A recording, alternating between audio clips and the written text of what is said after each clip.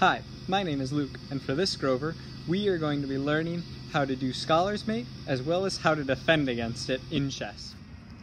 Scholar's Mate is a quick way to get checkmated to checkmate an opponent who is unsuspecting of what you are going to do.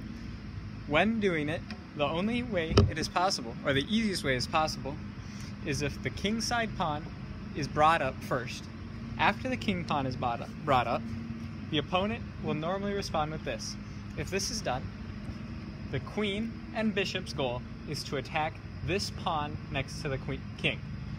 You can either move your bishop here next, or move your queen to either of these positions. If your bishop is moved to here, the opponent may do other things, anything like this to try and open up their bishop, and the next goal would be to get your queen to attack this piece. When this is done, the opponent may respond in some such manner like this.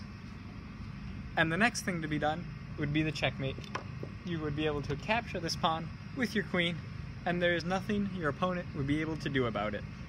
Or is there?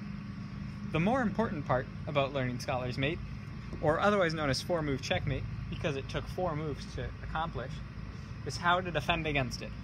To defend against four move checkmate, there's one simple move that must be done.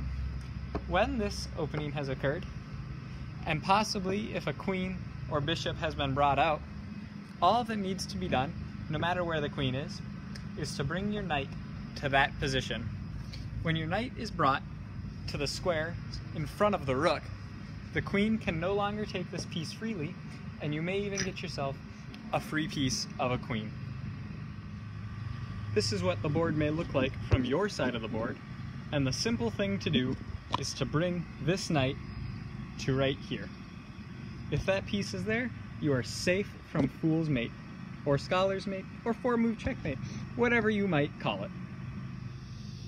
That is how you defend as well as do Scholar's Mate, Fool's Mate, or Four Move Checkmate. Thanks for watching.